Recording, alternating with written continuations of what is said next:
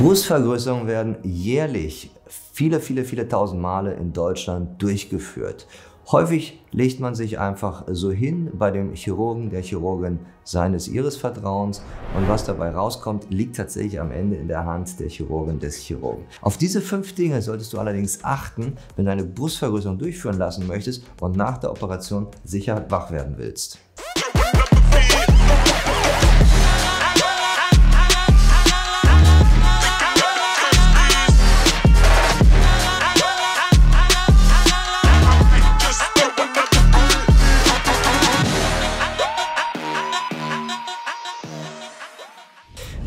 Ist Professor Dr. Sinus, ich bin dein Plastic Surgery Coach und in diesem Video möchte ich dir erklären, worauf du achten solltest, wenn du demnächst eine Brustvergrößerung planst und tatsächlich die Risiken und Gefahren scheust und sicher nach der Operation auch wach werden möchtest und mit dem Ergebnis glücklich werden willst.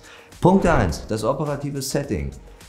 Vergewissere dich, dass du bei der Operation mit erfahrenen Ärzten zusammenarbeitest. Das heißt, ein plastischer Chirurg sollte der Operateur sein oder auch Chirurgin, jemand, der über ausreichende Erfahrung im Bereich der Brustvergrößerung operiert und verfügt. Und meine Empfehlung ist dort immer, dass man sich jemanden aussucht, das muss kein alter Sack sein, aber zumindest ein paar graue äh, Schläfenhaare sollten dabei sein. Jemand, der mal mindestens 15 oder 20 Jahre im Geschäft ist. Ich mache diesen Job jetzt seit über 20 Jahren. Ich kann sagen, die lange, lange Zeit hat mir persönlich sehr, sehr viel Sicherheit gegeben, dass ich tatsächlich genau weiß, was ich tue, wenn ich eine Brustvergrößerung durchführe. Und ich sehe sozusagen das Ergebnis noch bevor ich operiert habe, weil ich die Patientinnen vorher untersucht habe, mich damit beschäftigt habe, durch 3D-Simulationen wir uns an das Ergebnis herangetastet haben. Und damit sind wir auch schon am zweiten Punkt, die Größe des Silikonimplantats. Die Größe des Silikonimplantats ist von daher sehr wichtig, weil tatsächlich Risiken und Komplikationen dadurch häufiger werden, indem das Implantat größer wird. Es gibt ein paar chirurgische grundlegende Dinge, die man beachtet. Dazu haben wir einige Videos in der Vergangenheit gemacht zum Thema Brustvergrößerung. Dazu blenden wir euch auch nochmal die Links ein. Tatsächlich ist es so, dass viele dieser Risiken, wie zum Beispiel Blutungen, Infektionen, Wundheilungsstörungen, Abstoßung des Implantates, Kapselfibrosen damit verbunden sind, dass das Implantat zu groß gewählt sein kann. Was soll das heißen? Das heißt, dass wir sichere Operationen performen, sichere Operationen liefern können, wenn wir mit unseren Implantaten ausreichend gut unter den Muskel kommen, der Muskel das Ganze schön abdeckt und wir damit auch einen sicheren biologischen Schutz für dieses Implantat haben. Vergesst nicht, das Silikonimplantat ist ein Fremdkörper und als Fremdkörper kann es abgestoßen werden. Und deswegen wollen wir immer schön unter dem Brustmuskel zu liegen kommen, weil der Brustmuskel ein sehr, sehr gut durchblutetes Gewebe ist, was uns Schutz gibt, dass dort keine Bakterien hinkommen. Und wenn da tatsächlich sich ein Bakterium hin verirrt, dann wird er sofort gecatcht und dann auch von der entsprechenden lokalen Abwehr abtransportiert. Das heißt, da gibt es dann kein Risiko. Deshalb, je größer dieses Implantat wird, desto weniger Cover hat es von dem Muskel und desto eher können solche Risiken und Komplikationen entstehen. Wenn du trotzdem nicht verzichten möchtest auf ein sehr großes Implantat, dann besprich dich gut mit einem plastischen Chirurgen, der schaut sich dann den individuellen Befund an, denn natürlich ist es so, dass es nicht heißt, dass grundsätzlich große Implantate verboten sind, denn natürlich ist auch die Körpergröße sehr individuell. Wir haben es zum Teil mit Mädels zu tun, die 1,50 Meter groß sind und dann gibt es Mädels, die zur Brustvergrößerung kommen, die 1,85 Meter groß sind, wo ein großes Implantat aufgrund der anatomischen Verhältnisse immer noch sehr, sehr sicher untergebracht werden kann. Dritter Punkt. Die Narkose, tatsächlich ist das natürlich auch eine Leistung, die von einem Facharzt erbracht wird. Ich bin in Anführungsstrichen nur der Chirurg, das heißt, ich bringe die chirurgische Leistung. Aber die Narkoseleistung, die wird von einem Narkosearzt erbracht. Und da trennt sich auch die Spreu vom Weizen. Auch da wollen wir Narkoseärzte haben und Ärztinnen, die lange, lange Zeit im Geschäft sind, die erfahren sind und die auch reagieren können, wenn tatsächlich mal was sein sollte. Was sollte denn mal sein? Tatsächlich haben wir es natürlich in der äh, Form der Chirurgie, mit der wir es hier zu tun haben, mit überwiegend jungen Leuten zu tun. Junge Frauen, und damit meine ich jung im Sinne von 20, 30, 40, sind alles junge Patientinnen, die überwiegend gesund sind.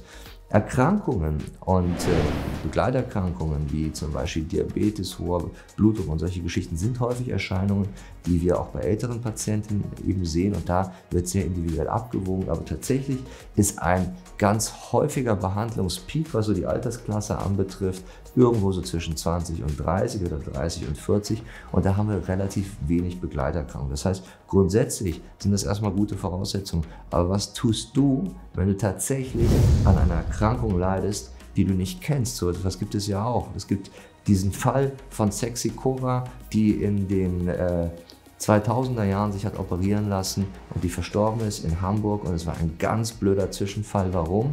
Weil das Ganze tatsächlich zulasten der Narkoseärztin gegangen ist. Sexy Cora hat einen Herzfehler gehabt und keiner hat es gewusst, deswegen ist die Diagnostik vorneweg ganz, ganz wichtig. In unserer Klinik in Berlin bieten wir diese Diagnostik im Rahmen des Gesamtpaketes natürlich an, wo wir dich auf Herz und Niere prüfen, bevor wir überhaupt eine solche Brustvergrößerung durchführen.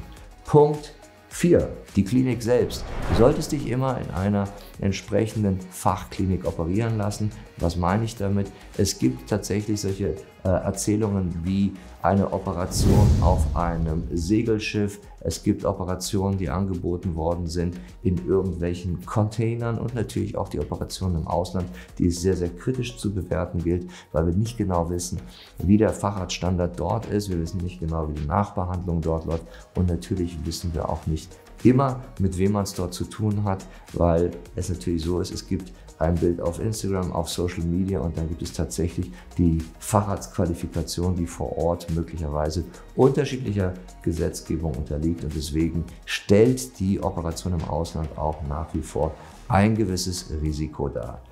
Fünfter Punkt und aus meiner Sicht auch ganz, ganz wichtiger Punkt ist, mit welcher Operationstechnik wird operiert. In unserer Klinik in Berlin operiere ich nach der Minimal Touch Technik. Was bedeutet Minimal Touch? Das heißt, dass ich das Gewebe tatsächlich relativ wenig manipuliere und berühre. Wie sollte dann eine solche Operation vonstatten gehen, wenn man das Gewebe relativ wenig berührt? Man kann ja nicht zaubern und schwupps ist das Implantat irgendwo im Situs, also im Körper drin. Tatsächlich ist die Minimal Touch Technik eine Technik, bei der es darum geht, dass man nicht mit den Händen zu viel berührt, sondern dass man von außen mit Instrumenten arbeitet, minimalinvasiv, wo wir mit kleinen Schnitten arbeiten, mit Kameraoptik arbeiten, mit langen Instrumenten arbeiten. Und die Idee, die dahinter steckt, ist, dass man, obwohl man stabil am Tisch steht, über die Finger, Fusseln von der Kompresse etc. auch mit in den Körper reinbringen können. Und das könnte sozusagen dann am Ende so das Körnchen sein oder der Tropfen sein, der das fast zum Überlaufen bringt und der dann am Ende tatsächlich die Komplikation bringt. Das heißt, Minimal Touch gibt euch mehr Sicherheit. Bei der Minimal Touch Technik gehe ich so unter den Muskel, dass ich vorher schon, bevor es überhaupt blutet, die Gefäße sehe und sie verschließen kann, veröden kann. Damit bluten die Patientinnen weniger. Ich kann mit der Minimal Touch Technik weniger Schaden anrichten. Damit habt ihr am nächsten Tag deutlich weniger Schmerzen und ich kann damit deutlich auch die sogenannte Kapselfibrose-Rate reduzieren. Und das ist ja das große Gespenst in der Versorgung von jungen Frauen mit äh, einem Silikonimplantat, dass man sagt, oh, nicht, dass da jetzt was passiert, es entsteht eine Abschlussungsreaktion, Kapselfibrose und man muss später diese Operation dann nochmal erneut durchführen, um diese Sachen loszuwerden und nochmal frisch zu machen. Das waren die fünf Punkte, auf die du achten musst, wenn es darum geht, dich einer Brustvergrößerung unterziehen zu lassen. Fünf ganz, ganz wichtige Punkte, die dir mehr Schutz und Sicherheit geben sollen. Deswegen beachte sie, beließ dich, recherchiere ausreichend und gucke nicht auf den Preis. Das meine ich ganz ehrlich. Guck nicht auf den Preis, lass dich nicht von Billigangeboten locken, weil dort sind möglicherweise diese fünf Punkte nicht so gut beachtet wie in einer entsprechenden Fachklinik für plastische und ästhetische Chirurgie, wo ein so hoch ausgebildetes und hochtechnologisiertes Team arbeitet, das entsprechend diese Voraussetzungen bietet und dass du dann entsprechend auch bezahlen musst. Denn am Ende des Tages geht es darum, dass du sicher aus dieser Operation herausgehst und möglichst lange, lange Zeit Freude an einem schönen Ergebnis hast, das dich glücklich macht.